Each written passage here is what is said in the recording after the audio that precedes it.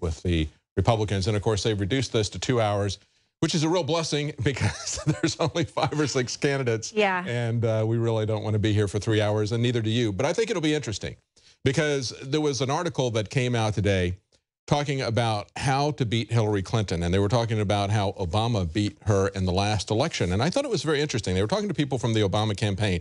And they said Hillary was trying to define 2008 as a change from George Bush. Is this a problem that the Republicans are making?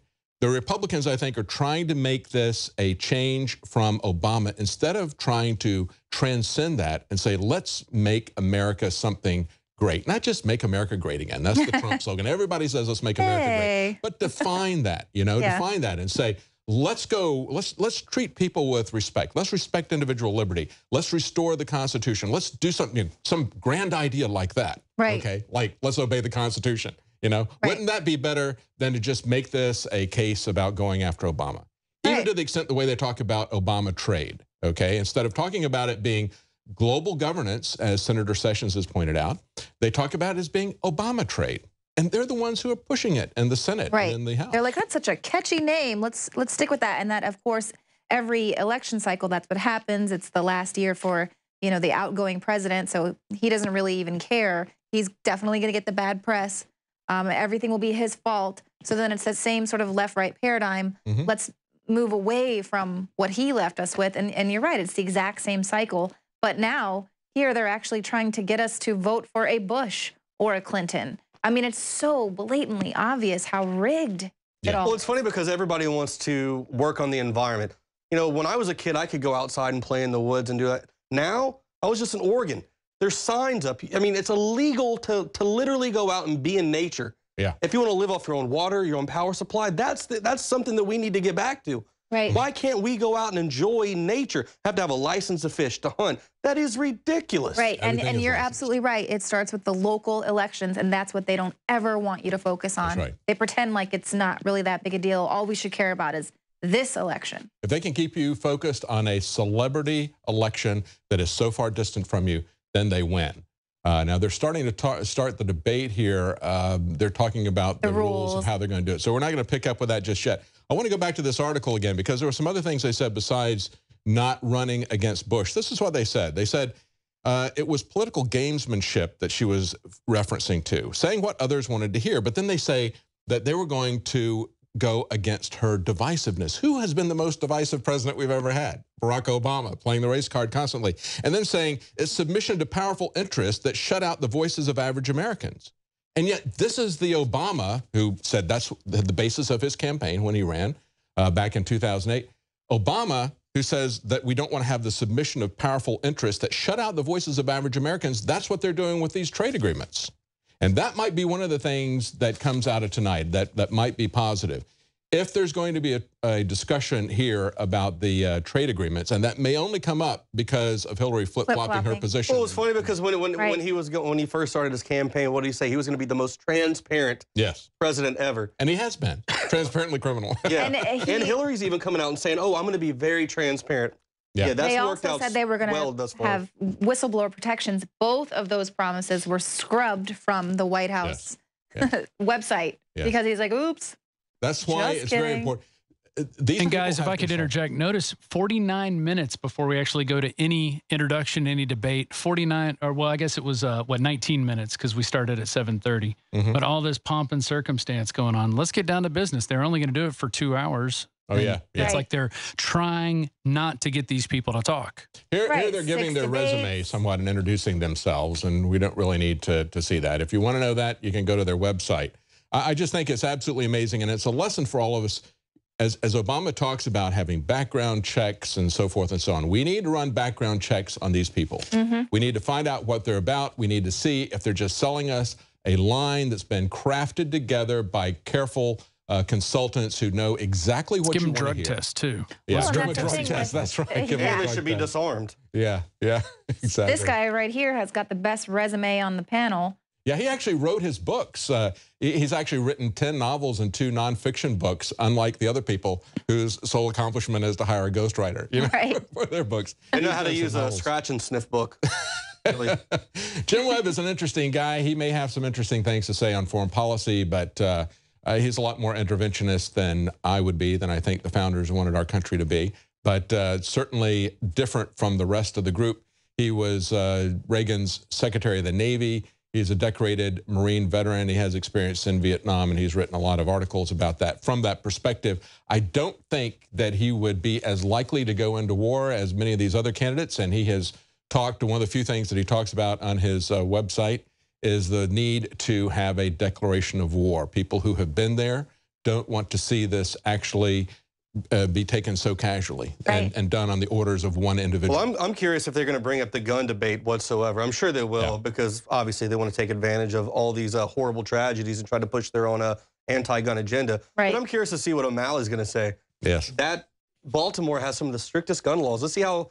I want to ask him, how's gun control working for you there, buddy? Because Right. there's a mass number of murders there in Baltimore on a Mhm. daily basis. That in Chicago, Obama's little area. I mean, it's Mhm. ridiculous how these guys think they can get away with, with pushing this. And when you actually look at the facts, it's just not working out. We don't need mon- more gun control. We need more armed citizens who can protect themselves, their families, and their property and stop these things from And happening. school because when you and take children. guns away, guess what? There's still going to be mentally crazy people out there, Oh, yes. mentally ill. And guess what they're going to do? Well, overseas, they're using knives now, Right. and they're stabbing people. What are we going to go to next? Ban knives, and then it's going to go to a rock, hammers, whatever. They're going Right. to find something. We can't just Box ban cutters. tools. What we have to do is get to the root of the problem and start holding these pharmaceutical companies accountable. accountable for these things because Yeah.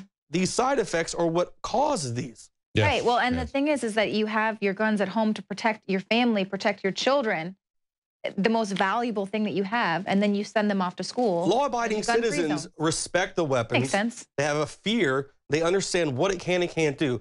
It's the mentally ill that run around waving them and doing harm. You don't see law-abiding citizens, people with a good head on their shoulders, Can't acting legislate that way. crazy.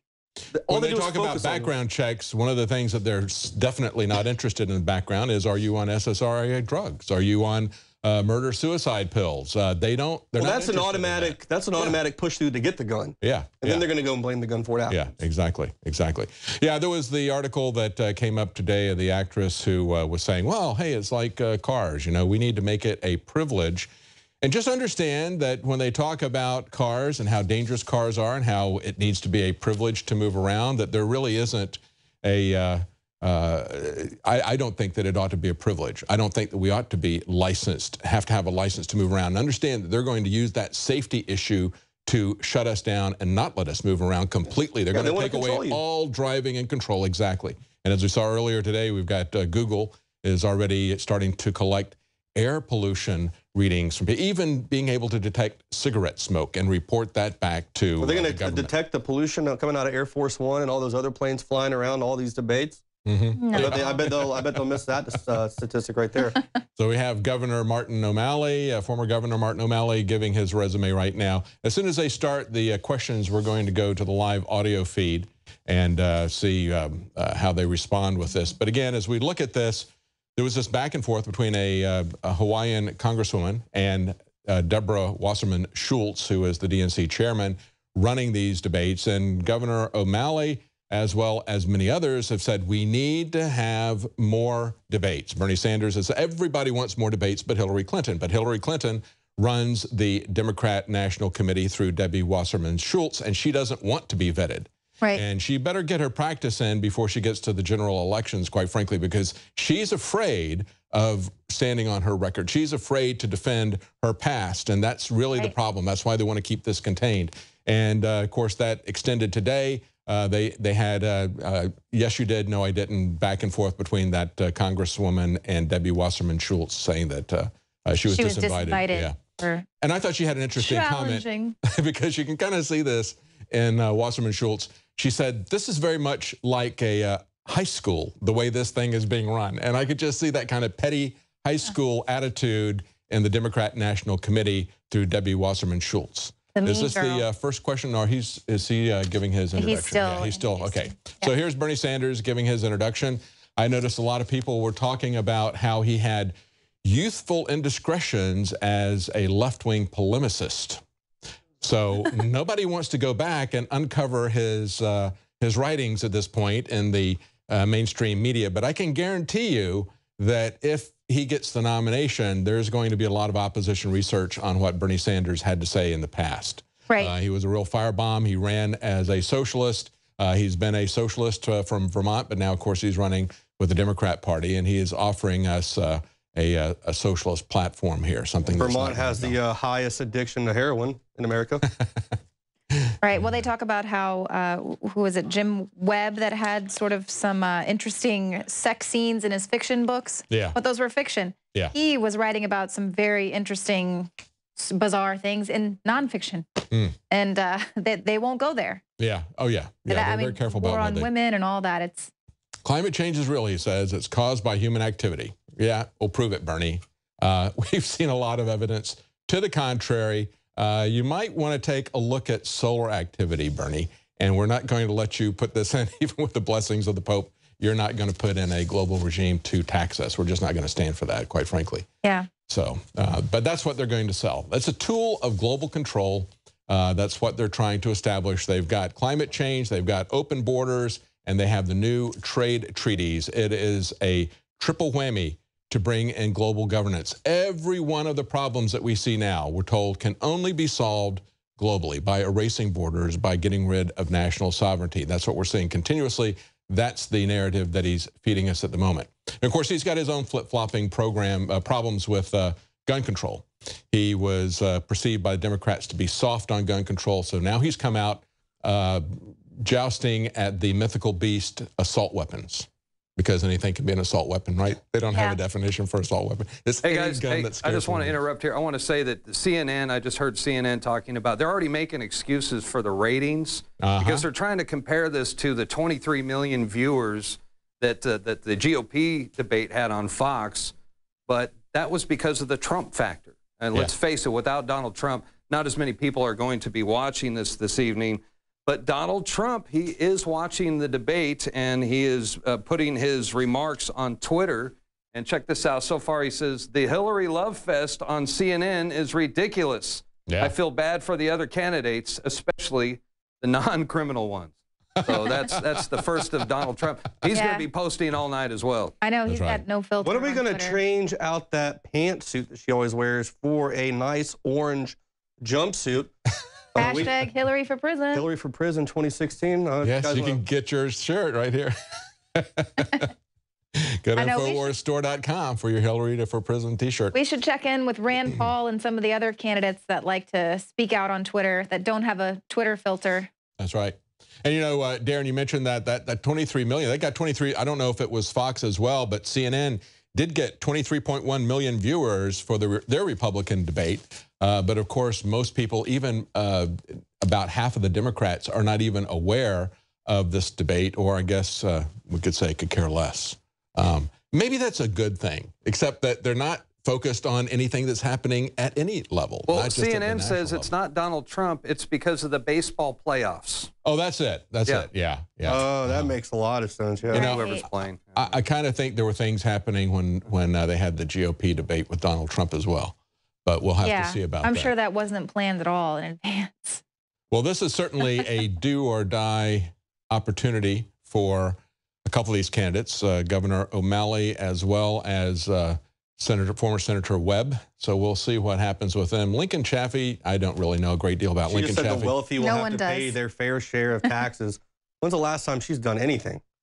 I mean, how can how can this woman even like seriously get on TV and say that she can relate to middle class America to anybody out there? well, Joe, she was broke. She and Bill were broke when they got out of the presidency. Yeah. Don't you remember? It's hard out there They could him. barely scrape a couple of million together.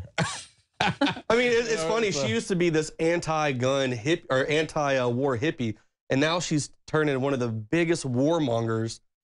Look, Hillary has been on every side of every issue. I mean, she was a Goldwater girl at some point. It's whatever political opportunity extends itself to her. And she's willing to do anything and everything to get power. That's one of the things that makes her so dangerous. Well, even with this TPP flip flop, you, you remember how she held her tongue and she said, I'm going to wait till the negotiations are over to say something about it. And it wasn't until days after the negotiations were over that she says, Well, this version of it, I don't agree with it. Meanwhile, for years, I think what, 45 times? And has she really been able to see it? And only the people who go through special non-disclosure agreements that are also members of Congress or the Senate are allowed to see that. How, how did she see it? How does she know